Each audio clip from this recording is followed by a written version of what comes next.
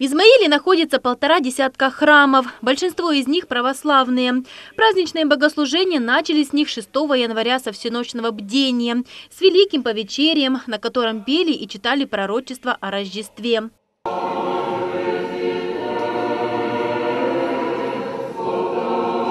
7 января во всех церквях служили божественной литургии святого Иоанна Златоуста. Наша съемочная группа побывала в главном храме города Измаила в Свято-Покровском кафедральном соборе. Этому замечательному памятнику архитектуры скоро исполнится 200 лет. Он красив и величествен. Живопись на его стенах выполнена на основе воснецовских росписей Владимирского собора в Киеве.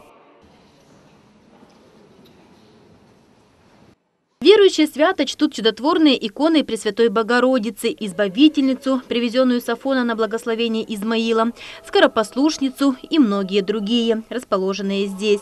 Рано утром 7 января, несмотря на 15-градусный мороз, здесь собрались прихожане, чтобы вместе отметить великий и спасительный праздник Рождества Христова.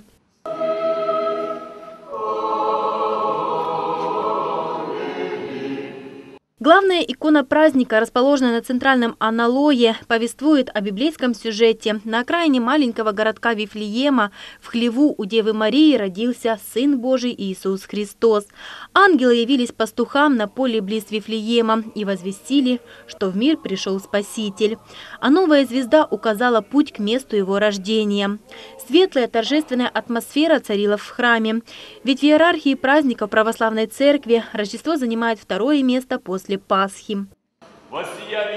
Свет разума.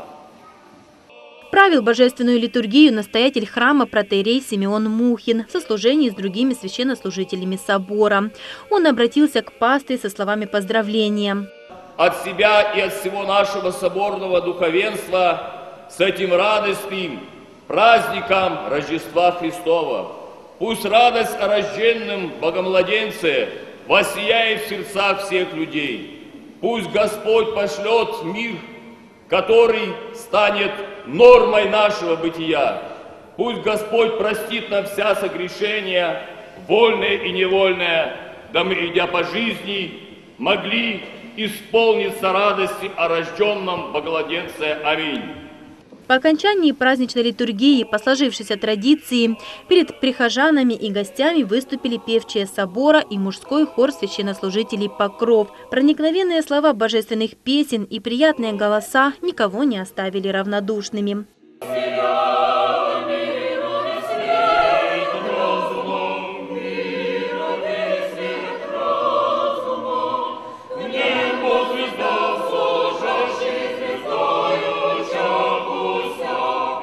Галина Величко, Игорь Коц, Измаил, Бессарабия ТВ.